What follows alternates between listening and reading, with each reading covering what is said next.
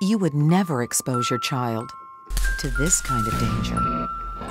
Or strap your child in a car with known toxic chemicals. You would never intentionally put a child in harm's way, but exposing a child to secondhand smoke does just that. Maybe you're not ready to quit, but you can keep smoke away from them. Create smoke free zones in your home and car.